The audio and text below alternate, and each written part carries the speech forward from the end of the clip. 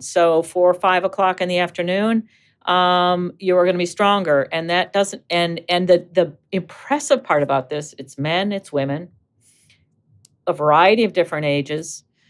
Uh, the exercises range from things like grip strength to sort of leg extension kinds of things. And it's tremendously consistent, which isn't always true in human research, that strength is better in the afternoon. And at this stage, people have, you know, looked at is it the nerve? It, and there's no indication it's it's uh, how the nervous system is recruiting the muscles. It seems to be something locally at the level of the muscle, and so uh, that's one example where we have some evidence that likely the clock is playing a role, and sort of you know, uh, under regular conditions, you are stronger. You're going to be stronger in the afternoon. Now, why? I, I don't, you know, we don't have a why for that, but that's how it works. The other one that uh, some of my colleagues from the Netherlands have shown is that you know the you know the mitochondria in the muscle cells, so the the powerhouses, the things that make all the energy, um, they have a higher capacity in the afternoon. Just to make sure I've got this, this is your body clock through 24 hours, changing the way that your muscles work. And interesting, you're saying like across men and women, and it sounds like you said a lot of different studies, you can actually see that this strength is peaking surprisingly late in the day. You're saying sort of four to five in the afternoon, which I rather think is like sort of the day is sort of yeah, I don't want to be too precise here because you know it, but but I'd say afternoon. So I'd say let's just say from two on. depends when you wake up, I guess, is what you're saying. Is that when my afternoon and your afternoon might be different? But that's really that's really fascinating. Is that also constant as we age? We don't know. If I had to make a prediction, I would say we'd lose our day-night difference based on what I understand with the timer. But but that ha- that actually hasn't been tested. Um, with with a I mean, it's been looked at maybe up to about 30 years old, but but again, I, I don't think we've actually moved those studies into sort of the over 50 crowd. So, in general, do we see our circadian rhythms um, like become weaker as we age? What is it that makes you think that that's what's likely to be happening? We talked about the clock mechanism, which is the same in every single cell, right? So you have this timer where my research has been and where people don't really talk about it in terms of trying to apply it to physiology is that beyond timekeeping, it has another job. All right. So it actually has a second job that, from a physiological perspective, is critically important. And that is to regulate a set of genes at different times of day. Can you help us to under- understand that? Because I think most people listening to this will be like, hang on, my genes are just this fixed thing. What does that mean to regulate a set of genes at a different time of day. Could you just help us to under, understand what you just said? So you have this timer that has sort of cog or like gears on it, right? And those gears touch different parts, different sets of genes at different times of day. There are some genes that are constant, but there are a number of genes. So let's say over a thousand genes in a muscle cell are expressed in a pattern where they're higher at some times and lower at others. And does this mean like because genes are sort of a bit like instructions, aren't they, to do something? So is this sort of saying you're basically this this this muscle cell is being told, hey, at you know four in the afternoon, do all the things that are going to set you up to be the strongest you possibly can, but at three in the morning, you should be working, switch on all the repair, switch off all of the special turbocharging stuff, switch on different functions that you want to be happening in this cell at different time of day. Absolutely. So, so one way to think about the clock, and or the way we, you know, is that it is a anticipatory timer.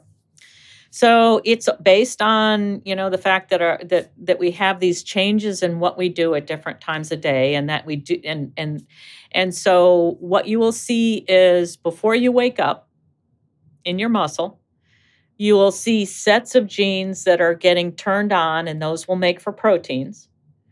And those things are going to be involved in metabolism or breakdown of like fats and carbohydrates that will provide the energy for you to use your muscle.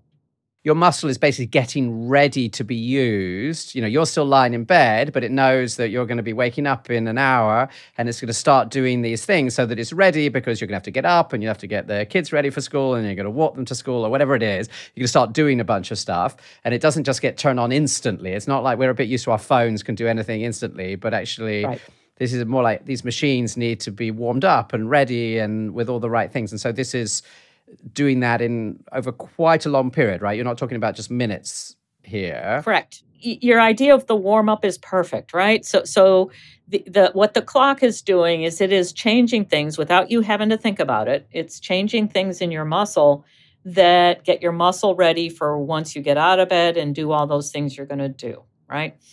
And then at a different time of the day, it's going to be doing something different, and that will be related to storage of sugar, storage of uh, replacement of proteins that may be damaged. So it knows you're going to be resting, or you know, it assumes you're going to be resting, and and so it's getting those specific genes expressed to do the jobs it wants to be doing during that rest phase. So, I mean, why don't we start with me? I'm in my late 40s. Um, what does this tell you about both what is like good in terms of how I would think about the timing of my exercise or being physically active, but also I guess what would be suboptimal?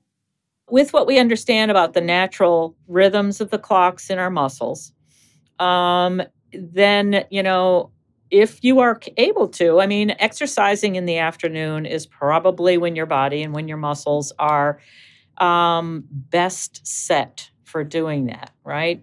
You're stronger. You in you know based on the mitochondrial measures. You you know the endurance should be good. It's a very nuanced question, and so I'm trying. I'm struggling with trying Not to at find all. the Karyn, ways. one of the things one of the things I love about this show always is whenever you speak to the people who are like the absolute world experts in something, they're always much more cautious about the advice than when you talk to somebody who's like a long way away from it, hasn't maybe done the research themselves. Right. It's uh, where they tend to make very strong statements. So I think we are used to the fact that. Um, you know that this is cutting edge science that the results you know may in, in fact be re- reinterpreted. And so uh, i understand the caution. If i play it back what i think you're saying is that you know right now the evidence is that there is a change during the day that you are stronger starting from the afternoon and that that implies that that's a better time to exercise. And i think you're also saying that you haven't carried out all the randomized control trials to sort of prove this yet. Is it would that be a um, that would be uh, correct? And then there, the the other part that we haven't talked about is what time you exercise actually feeds into the muscle clock. So talk about okay. help help me to understand what you're saying. So so just like light adjusts the clock in the brain, right? What time you exercise adjusts your muscle clocks people often talk about the fact that if you do have jet lag, then sort of doing exercise in the place that you go to can be helpful. And I just assumed that that was something to do with like, you know, just being more active or something. But but you're saying that actually that might contribute to adjusting in the same way that the light is supposed to absolutely and feeding. And again, I love that you say so that. Like it's if you if you're on audio, you won't see Karyn looking at me as though I'm a complete idiot because it's obvious no, no. that this is going to change the time zone. But I'm quite surprised. So to explain a little bit what happens, you're saying you can perform exercise at different times of day, and depending on when you exercise, it will change the the, the settings or the phase of the muscle clock and independent. So the, the clock in the brain does not change, um, but the muscle clocks will shift sort of directionally toward, I, I call it sort of toward the time of the exercise. What we now understand is that there is information that's coming from that exercise that exercise at that particular time that's telling the muscle clock, hey, this might be something we're going to be doing more often. Let's let's adjust so we're going to be ready for this, right? So if we think about the clock being an anticipatory mechanism, if all of a sudden you start exercising at six in the morning, the clocks in your muscles are going to shift more there. It's learning, it's in training, it's adapting to that time. So you are going to be better prepared, or your muscles are going to be better prepared to perform that activity at that time. And Karyn, does that affect your like your body clocks elsewhere as well? So if I'm doing this exercise, does that start to drag all my other body clocks also in that direction? Well, it it can. Um, it's it's not a simple answer. It's not like all the other peripheral tissues come along. No, um, but we have evidence that the the clocks in your fat will change, the clocks in your lungs will change, so it's definitely so, it's not just the muscles. There is this correct. Hence, you saying like it's obvious that if you are jet lagged, you should do exercise. It's going to help you to move. Absolutely, absolutely. It, it, makes me suddenly think because we talk about jet lag as as traveling to somewhere else, but there will be a lot of people listening to this who do shift work. So there might be nurses mm. or doctors or whatever it is who have to go through um, like these effectively this massive jet lag for themselves, um, where there is no light. In fact, they're fighting against the light what would what does this imply about um, you know anything to do with exercise being able to be helpful to manage that you know moving on to shift and, and moving off? Yeah I, I, again it's an area it's a great question. There's very little data in that area but i think i mean I, you know this is this would be one of those things where i talk to the people who do exercise on shift and they could help the scientists uh, design the experiment in some ways because a lot of times people figure out what makes them feel best and you know when the exercise makes them feel best. You know there's data out with sleep deprivation and exercise and the benefits that come with that. Aspects of sleep deprivation are circadian in nature. And so um, the prediction is this is that it will be beneficial. And again it will vary depending on whether you're a swing shift type person or if you're a very consistent shift type person. Um, i think hopefully there are people in that area now figuring these things out.